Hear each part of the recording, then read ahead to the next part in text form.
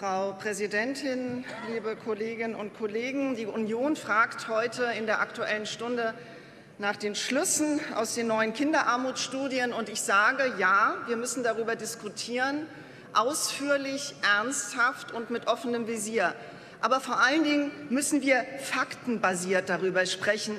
Und Herr Laschet, zu den Fakten gehört, und ich fordere Sie auf, dazu die Berichte, diese Armutsberichte, die die verschiedenen Fachverbände vorgelegt haben, mal ausführlich zu lesen. Aber das wissen wir ja schon aus Ihrer Zeit als Minister. Das ausführliche Studieren von Akten war noch niemals Ihre Sache.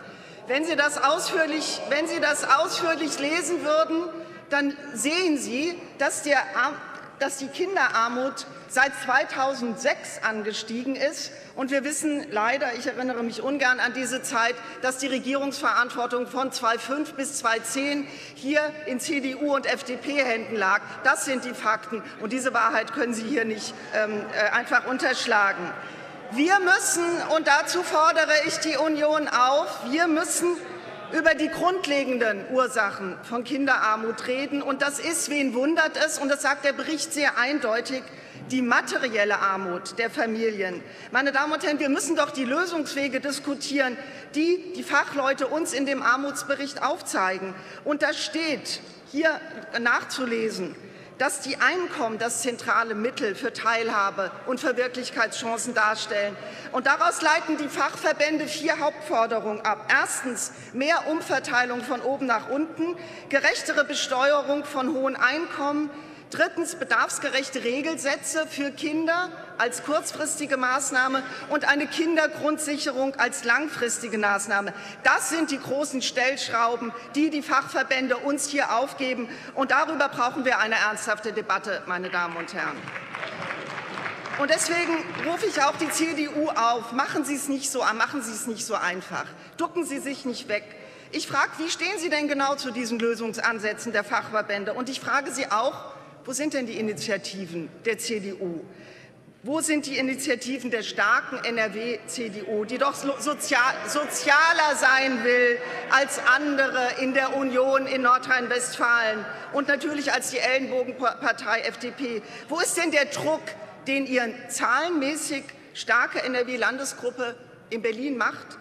Und wo sind die Initiativen der von Ihnen geführten Bundesregierung gegen Kinderarmut?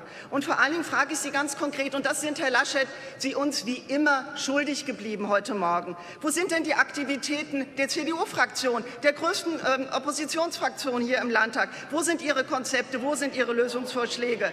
Meine Damen und Herren, wer, wer über die Armutsberichte diskutieren will und über solche Fragen und über Lösungen schweigt, der führt keine ernsthafte Debatte, sondern das sind nur Scheingefechte.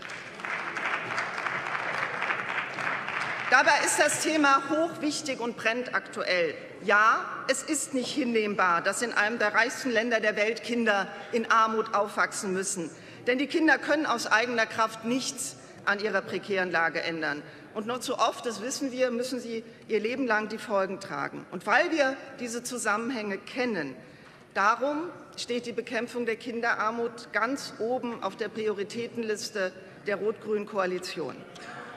Seit 2010, jetzt hören Sie mal vielleicht zu, wenn Sie sich nicht mehr erinnern, seit 2010 haben wir eine ganze Latte von Maßnahmen auf den Weg gebracht. Wir haben mit dem zweiten Kiebitz-Änderungsgesetz das korrigiert, wie schon mit dem ersten. Was Sie hier an verbrannter Erde, Herr Minister Laschet, als Familienminister in der Kita-Landschaft hinterlassen haben, das ist die Wahrheit.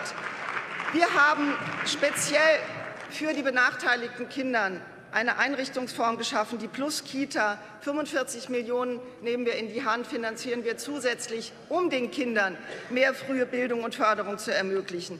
Wir finanzieren den Gebührenerlass in der Familienbildung für benachteiligte Familien. Das Modell Kein Kind zurücklassen haben wir auf den Weg gebracht, gemeinsam mit den Kommunen Präventionsketten aufzubauen. Wir haben das Handlungskonzept 2013 gegen Armut und soziale Ausgrenzung beschlossen. Und im Sommer 2015 hat NRW das Programm NRW hält zusammen gestartet, auch hier mit dem Schwerpunkt Armutsbekämpfung. Und dann haben wir noch ein weiteres gemacht, um die Fehler der Bundesregierung auszumerzen. Wir haben die Schulsozialarbeit weiterfinanziert mit 47 Millionen Euro. Da hat sich Ihre Bundesregierung geweigert, das fortzuschreiben. Das alles sind wichtige und notwendige Maßnahmen, die in der Tat aber langfristig wirken. Und wie hat sich die CDU verhalten, als wir hier diese Maßnahmen für die Kinder, für die benachteiligten Familien beschlossen haben?